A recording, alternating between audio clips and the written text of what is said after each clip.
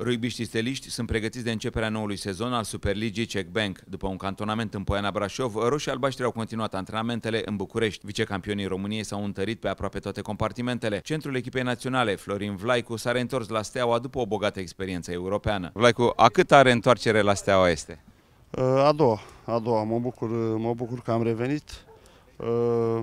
Am avut niște scăpări așa, dar se pare că că mi-am revenit și mă bucur că m-am uh, reîntors. Să fiu sănătos, să reușesc să fac meciuri cât mai bune și să ajut echipa, echipa să reușim să câștigăm uh, anul acesta este doar un trofeu pus în joc, Cupa României, să reușim să o câștigăm și să ne închegăm pentru uh, a ataca câștigarea Superligii.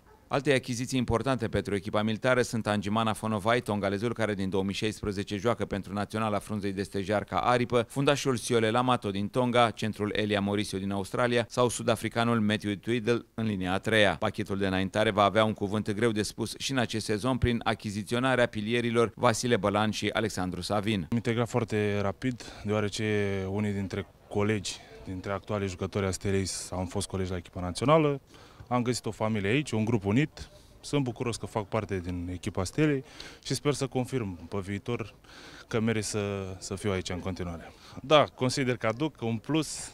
Vom vedea în uh, decursul campionatului. Mult succes! Mulțumesc frumos! Forța Steaua! Talionorul Florin Bărdașu, Mario Arvinte și Dragoser în linia a treia și Marian Drenceanu în linia a doua sunt celelalte achiziții pe care se va baza antrenorul Dănuț Dumbravă pentru atingerea obiectivului. Care este cel mai uh, redutabil adversar din acest sezon? Cred că sunt uh, majoritatea echipelor, pentru că s-au întărit uh, cu străinii care au venit în campionatul nostru, dar principalele adversare noastre le considerăm tot așa, Baia Mare și Timișoara, având în vedere că CSM-ul s-a desfințat anul acesta.